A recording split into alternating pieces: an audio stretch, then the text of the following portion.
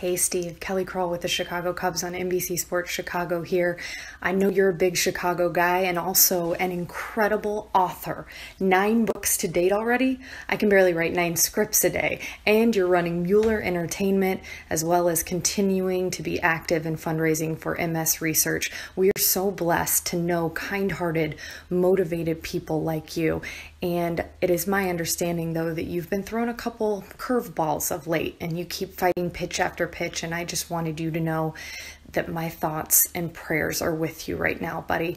And you have so many friends and family who are sending their love and positive vibes your way, including the buddy who put me up to this, who also might have mentioned that the big 5 0 is around the corner. Happy early birthday, Steve. I hope it is the best one yet. And here's to many, many more wonderful, healthy years. Keep doing your thing, my friend.